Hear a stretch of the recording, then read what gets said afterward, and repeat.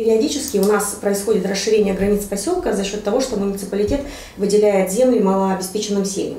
То есть, соответственно, э, количество земель становится больше, а инфраструктура не развивается. Поселок ветшает, не просто она не развивается, у нас демонтировали игровые площадки, и сейчас собираются еще одну вот эту большую демонтировать э, игровую площадку. Кооператив индивидуальных застройщиков «Зеленая роща» не входит в зону ответственности администрации Одинцовского округа.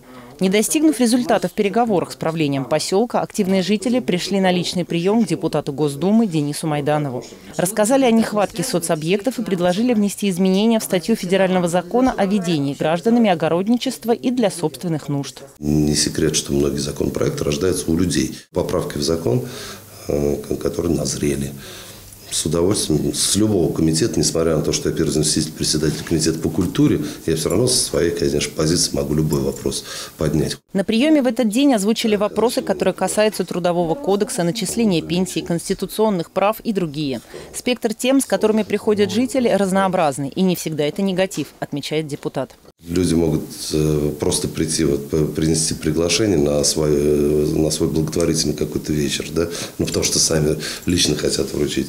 А, э, или приходят, вот, просят, просят разобраться с управляющей компанией, на которую, например, управы уже там нет. Денис Майданов всегда открыт к обсуждению проблем жителей Подмосковья индивидуально подходит к каждому случаю. Ведь повышение качества жизни в России – дело общее. Призываю людей желающих что-то изменить в нашей жизни, в жизни Одинцовского округа, э, подсказать где-то мне, где-то в исполнительной власти, принять активное, позитивное, я бы сказал, э, участие в жизни округа. Можно и, и ругать, но ругать аргументированно, для того, чтобы мы понимали, что именно нужно исправить, что нужно сделать. Полина Толмачева, Олег Мещерский, телекомпания «Одинцова».